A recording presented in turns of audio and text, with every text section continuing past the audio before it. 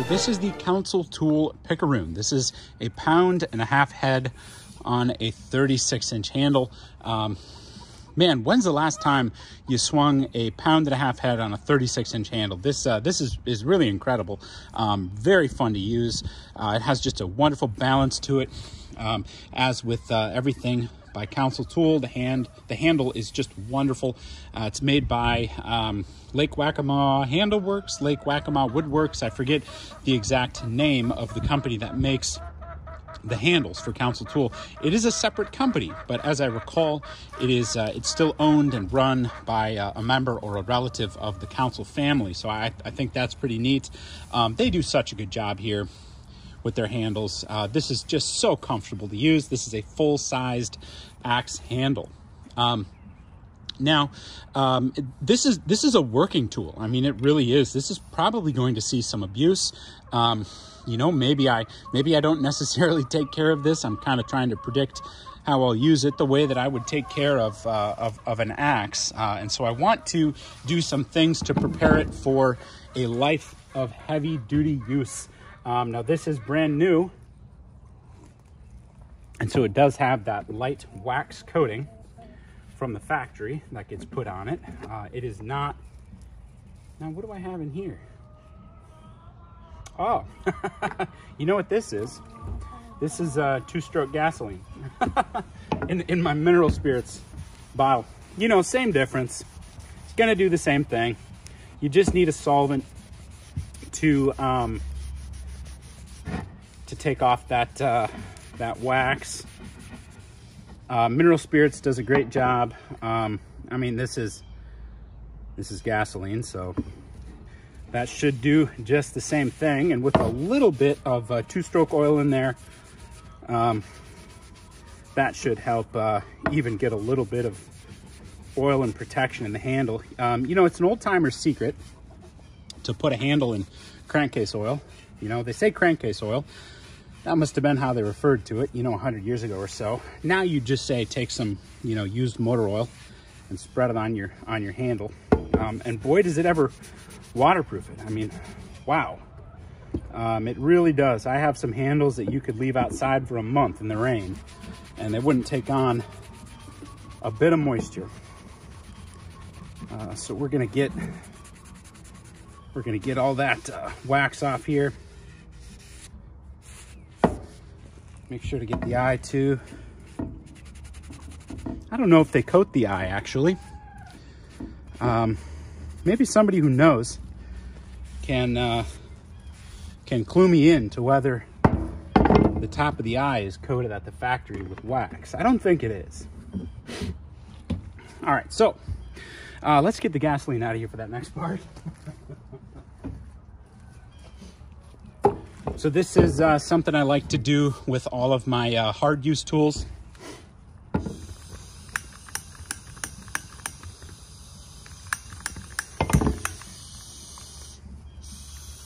There we go. All right.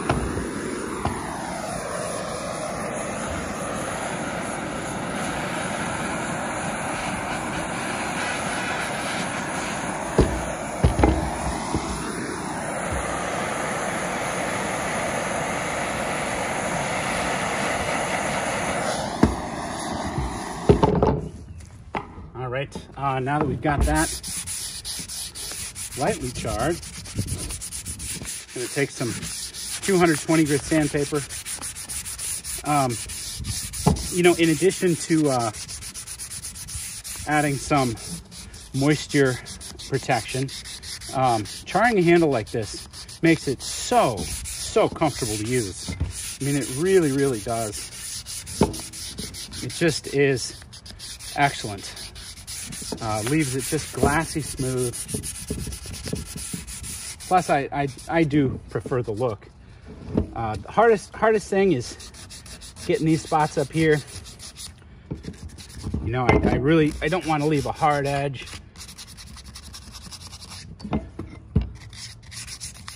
Some people say that this hurts the wood. Um, I, I don't subscribe to that at all. Um, people have been charring wood for thousands of years to improve its durability and its functionality, especially tool handles, especially tool handles. I mean, the, the earliest tool handles that we have are all fire hardened. Um, you know, people have been doing this for a long time. You know, if you burn the handle, I mean, I suppose, I suppose that could cause a problem, but that's not what we're doing here. All right. And again, because this is going to get used pretty harshly, um, I've got some pine tar here. And this is something that I have been doing for a long time. That's about as much pine tar as we need. This stuff is sticky as all get out.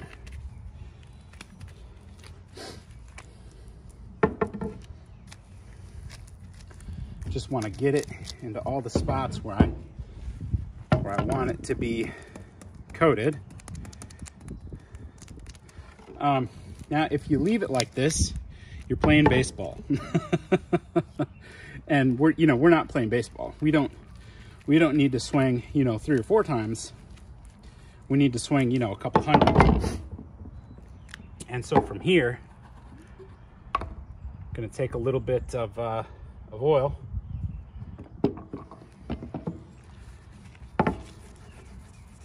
and that's going to cut that pine tar and get a really, really nice finish.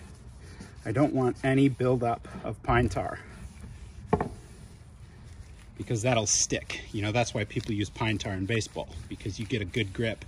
And that's why pitchers can't use pine tar. Put a little little dab of that on your neck and now you're throwing a 100 mile fastball, uh, 100 mile per hour fastball. Get the top here, get it all the way around.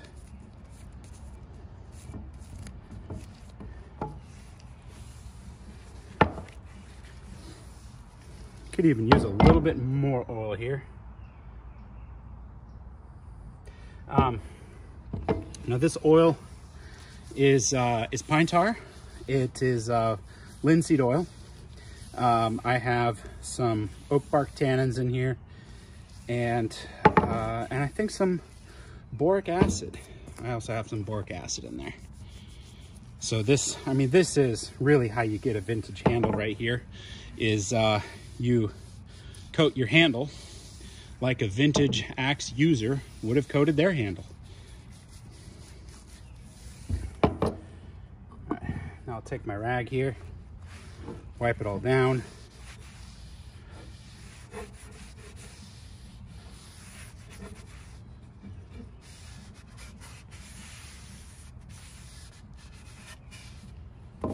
That's just gonna get that extra pine tar off of there.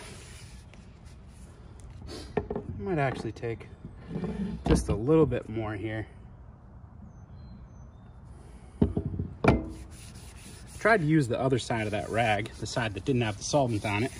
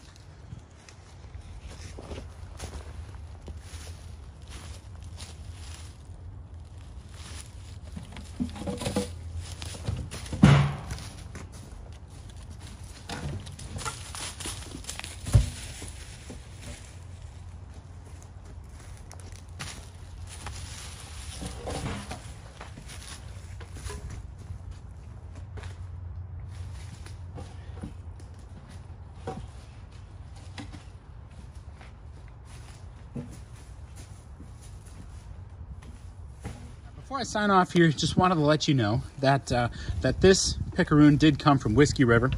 Um, I've ordered a bunch of stuff from Whiskey River. Wonderful company, um, very responsive, good customer service, good selection. They are a council tool distributor.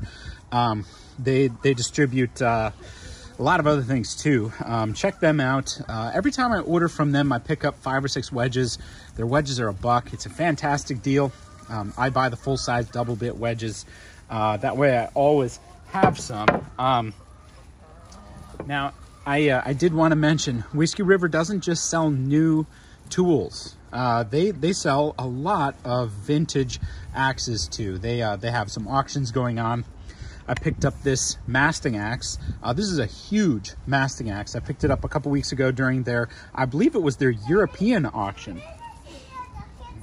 Um, and, and it was sold as a, as a no-name, unmarked axe, but I am pretty sure that this is a Douglas Axe Company axe. I can see D-O-U-G, um, Douglas Axe Company. Uh, they operated from the maybe early to late 1800s. I think they went out of uh, business just before 1900, but I'm pretty sure this is Douglas and then there would be axe manufacturing over here. Sometimes they have a William Hunt on the on the pole, but this is uh, this is consistent with I would say a late 1800s masting axe. I'm pretty sure it is drop forged based on the eye. I'm pretty sure it's an all steel axe too, uh, which would also be consistent with something made in the late 1800s. Um, this is a heck of a hewing axe.